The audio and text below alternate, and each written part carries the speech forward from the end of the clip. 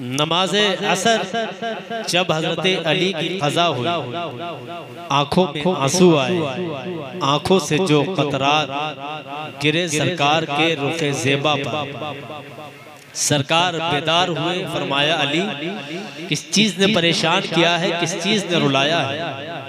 रोने का सबब रीजन वजह क्या है? हज़रत अली फरमाते हैं कि मेरी नमाज़ असर कजा हो। गई है। सरकार फरमाते हैं, जब सूरज पलटाने वाला नबी तुम्हारे पास मौजूद है तो रोने की बात क्या है?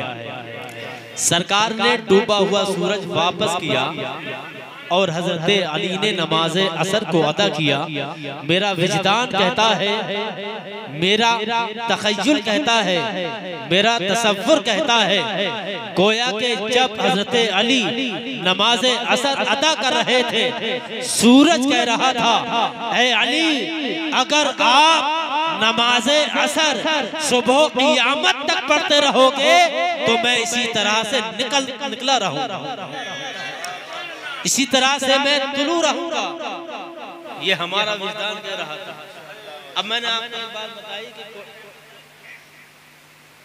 आज ये महफिल गौसल वरा है।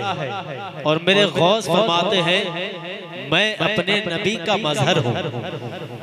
मैं अपने नबी का मजहर हूँ। बस थोड़ी देर इंशाल्लाह उसके बाद आप हज़रत मौलाना साहब से समाप्त करेंगे।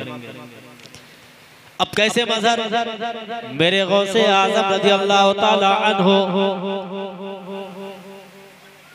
की दाई आती है और आने के बाद अर्ज़ करती है। शेख अब्दुल कादिर जिलानी, जब जब छोटे से थे, मैं तुम्हें गोद में लेती थी।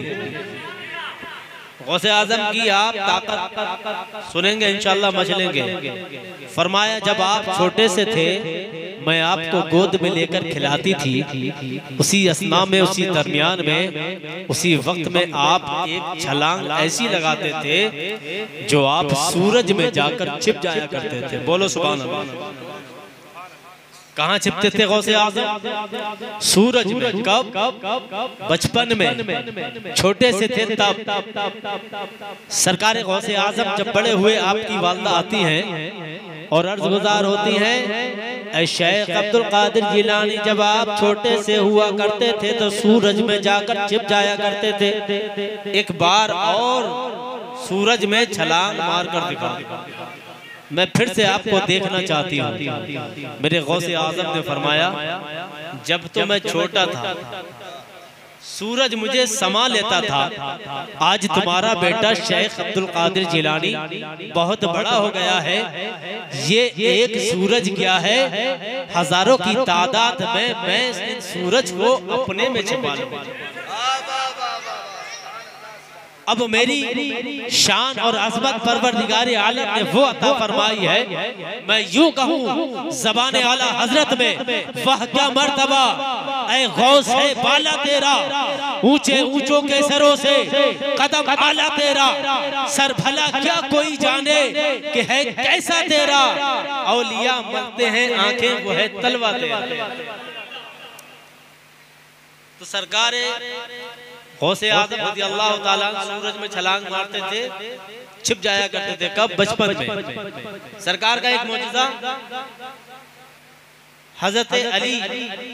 सरकार दो आलम सल्लल्लाहु अलैहि वसल्लम के सामने अबू जहल आया बहुत मशहूर। मैं तफसील में नहीं जाऊँगा। इसके बहुत खास बातें बताऊँगा। हाथ में क्या लाया था? कंकरियाँ। कहा आप अगर अल्लाह के नबी हैं तो बताएँ मेरे हाथ में क्या है? बोले सुबह अल्लाह इधर देखें थोड़ी देर इधर देखें। क्या फरमाया? कि अगर आप अल्लाह के नबी हैं तो मेरी मुट्ठी में बताइए क्या है? मेरे आका फरमाते हैं मैं बताऊँ तुम्हारी मुट्ठी में क्या है? या जो तुम्हारी मुट्ठी में है वो बताए कि क्या है? जब इतना सुना वो जानता था मेरे हाथ में तो कंकर है पथरियाँ हैं ये कैसे बोल सकती हैं? ये बेजबान है। कहा इससे अच्छी बात क्या होगी? जो मेरे हाथ में है वो बता दे। मेरे आका ने इशारा फरमाया कंकरियों ने कलमा पढ़ा ला इलाहा इल्लल्लाह मुहम्मदुर रसूलुल्लाह। लेकिन किस्मत में ईमान नहीं था कंकरियाँ वहीं फेंकी और रफू चक्कर हो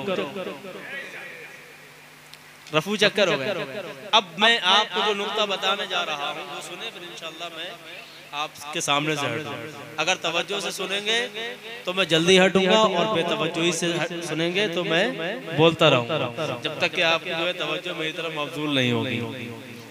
अब जितना जल्दी हटाना चाहते हैं उतनी तवज्जो दीजिए इधर। पूरी तवज्जो। इरादा इनका मुकम्मल है जल्दी हटाने का। बोले सुबह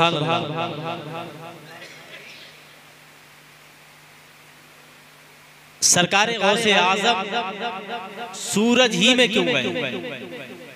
चाँद में क्यों नहीं गए? चाँद भी था, चाँद में जा सकते थे। लेकिन अल्लाह ने निगाहे वलायत अता फरमाई। अगर चाँद में जाते तो आपने कुछ साल पहले सुना होगा, कोई लेडीज़, कोई औरत चाँद तक पहुँची थी। और वो कहकर खड़ी होती अगर हम और आप गौसे आज़म की करामत बताते कि गौसे आज़म चाँद पर गए थे तो वो कहती इसमें गौसे आज़म की क्या ताकत का आलम है?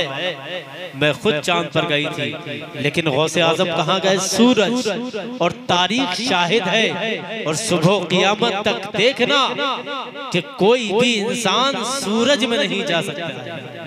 और ना जा सकता। ये इनकी निगाहें वलायत देख रही थी। तभी तो आला फरमाते हैं सर भला क्या कोई जाने के कहे कैसा तेरा?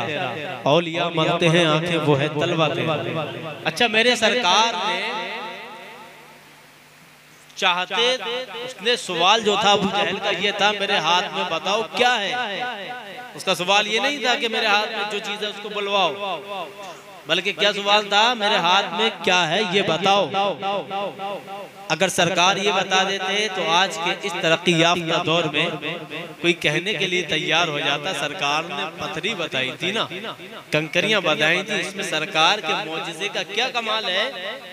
आज के जमाने में मशीन बता रही है पथरी आपके गुर्दे में है या पित्ते में है? और ये भी बता रही है किस साइज़ की है। और ये भी बता रही है पित्ता कितना बढ़ गया है कितना परसेंटेज हो गया है अगर कोई आलिम मेंबर शरीफ से सरकार का ये मोजा सुनाता तो कोई बेदीन खड़े होकर ये एतराज़ करता इसमें तुम्हारे नबी का क्या कमाल है? आज का इंसान भी तो बता रहा है। लेकिन मेरे नबी ने कंकरियाँ बताई नहीं। बल्कि कंकरियों से खुद बुलवाया कि तुम बताओ, मैं कौन हूँ? और ये तारीख शाहिद है। सुबह कियामत तक कोई भी ऐसी तरक्की याफ्ता चीज़ कोई ला नहीं सकता है, जो बेजान कंकरी या पत्थरों से बुलवा सकता है। कोई भी नहीं ला सकता।